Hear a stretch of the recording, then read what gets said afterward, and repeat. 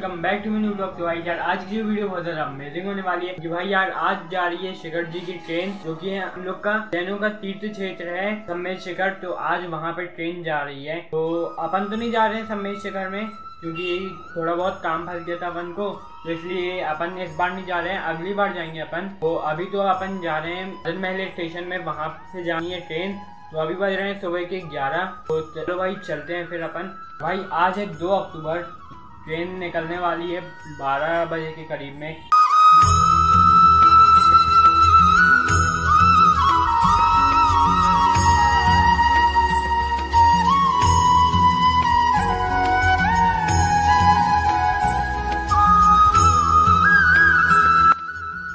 बस निकलने वाली है तो सब लोग बैठ रहे हैं ट्रेन में।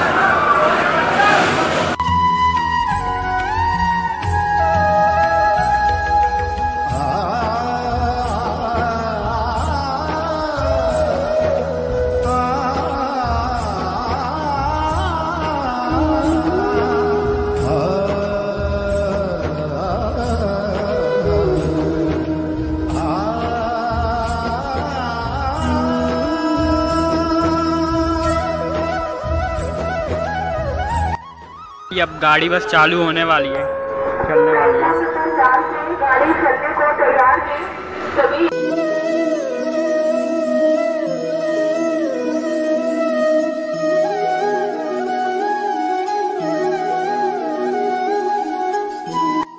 को ट्रेन चलने ही वाली है और यहाँ पे बारिश स्टार्ट हो गई है।